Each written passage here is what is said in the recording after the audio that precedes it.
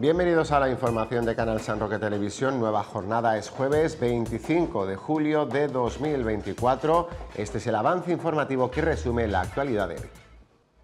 Comienza la Feria de San Enrique tras el magnífico acto de coronación de este miércoles.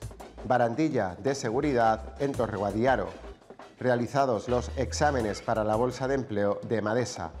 Este sábado, concierto gratuito de El Drogas y bandas locales en San Rock Festival. Continúa la Feria de San Enrique con cabalgata de carrozas y charangas en la noche de este jueves. Sotogrande Music Festival vuelve este fin de semana.